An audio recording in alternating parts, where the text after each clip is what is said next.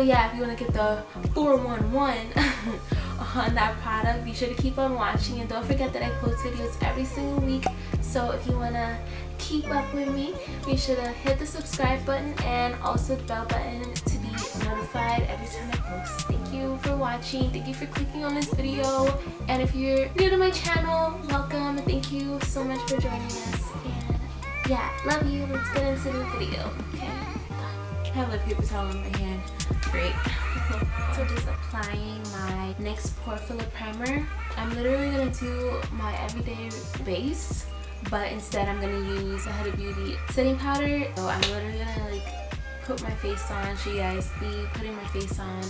I'll come in during the Huda Beauty part and I'll give a little review on it and how I'm feeling while applying it. And then we'll finish my makeup. And lastly, I'll put a little weird test for you guys on how my day went about using the powder.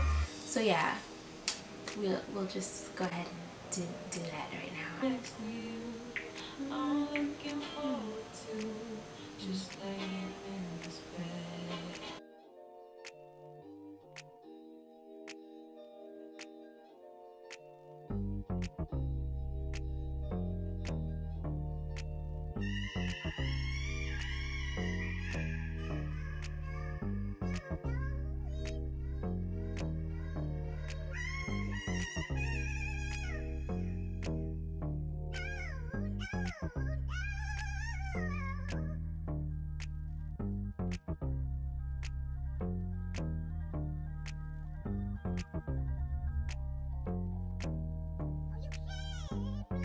So I'm going to try the Huda Beauty now. It comes like this. There's like a little net here that you could just like press down into and get product. I am not 100% happy with how much product comes up out of it. I don't really like that. I wish it came up with more product. I guess it's to control how much you use so you don't end up wasting it or using too much. But I personally would prefer if it was, if it came up with a little bit more product. Because you know when you bake, you like pack your face with powder. Like I can't really do that with this, you know. Another thing that I noticed with this is that I think I did buy a shade too dark. I feel like I should have got a lighter shade so it would still highlight my face at the end of doing my makeup. It is a little bit dark. Like as soon as I put on the setting spray, I feel like it's gonna go a little bit too one-dimensional one-dimensional with my face like it's all gonna be like one color rather than being highlighted and contoured you know? So that's my advice for any dark skin girls. Getting this like setting powder is like don't get too excited about seeing a dark shade. Most definitely get like a shade unless that's what you like of course. Most definitely get a shade higher so you can still have that like highlight contour look instead of it all being like one. Like this is like okay but I would most definitely prefer a little bit, prefer a little bit more of a highlight than like everything just being you know brown. Even though it's always great too but mm-hmm. but yeah I just want that sculpted look you know a little bit more because my face is like a little bit chubby and childish. So yeah that's just my advice for anyone about to buy this foundation.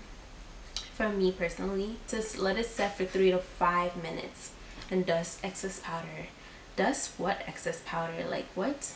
I know excess powder here. Okay so meanwhile that's going I'm just do my eyebrows.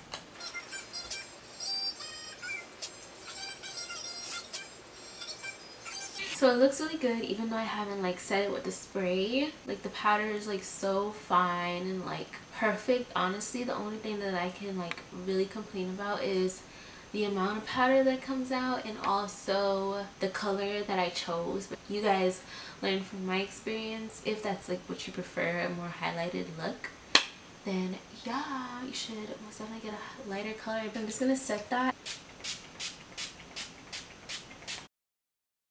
So as you can see what I mean by that like one dimensional thing, like that highlight that I had it's like now completely gone. So I mean like if you're into that that's totally fine for you then like for sure get the color that you think you should get that matches your skin tone. This is in the color cinnamon bun but I most definitely would probably get like something a little bit lighter to like try to balance out the highlight contour like thing. That's just the main problem I have with this. I'm most definitely gonna go exchange this probably today and get a lighter color and then I'll probably do another wear test for you with that one. I'll probably include it in this video so you guys you guys will see everything in this video anyway. I'm really not like from this one-dimensional thing so I'm gonna have to put on setting powder my usual setting powder. Especially like under my eyes like it's just not cute to me. Yeah as my mom would say you need something to brighten up your face a little bit that was most definitely it not the phone call I'm in the same spot but it's a different day. I went and exchanged it and I finally am wearing the powder. I actually, right now on camera, I don't think it looks horrible. But when I first came on camera, when I first finished my makeup using the Huda Beauty setting powder, I didn't like how ashy my face looked. So I did go over it with a foundation brush. The brush I used to like apply my foundation. Originally, I got the Huda setting powder in the color Cinnamon Bun. And this time I went back and I got it in the color Blondie.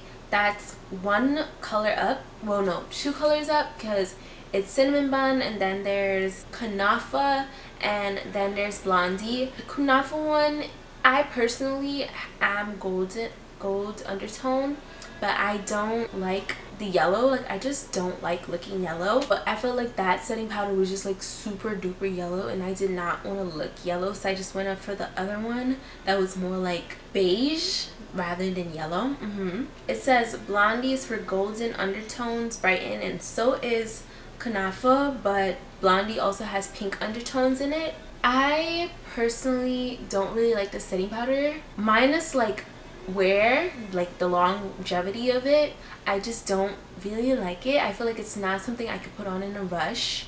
It doesn't come out with as much product as I want. I have to like, that net like concept that they had, I didn't like it.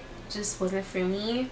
The color, I just feel like I really have to like work it out to make it fit my skin tone. Really, it's just most of my problem is like with application and the color of it. It's just not ideal for me and I if I if Sephora allows me to exchange it for a second time, I do think I'm gonna exchange this powder because it's just not for me personally. I feel like you have to try it yourself. Thank God Sephora has this thing where you can bring a product in and exchange it even if you used it. So that's bomb AF. But for me personally, I just don't think this is the setting powder for me. If I can't exchange it, of course I'm going to still use it. But I feel like my Ben Nye is where it's at. It brightens my face the way I want it to. This one, I feel like right now it does have a little bit of a brightening effect, a little bit. Not as much as my Ben Nye would, but it most definitely does have like some form of like brightening, just a little bit. But from coming from the Ben Nye, it, I do feel like it is a downgrade for me and it is more expensive. So like why would I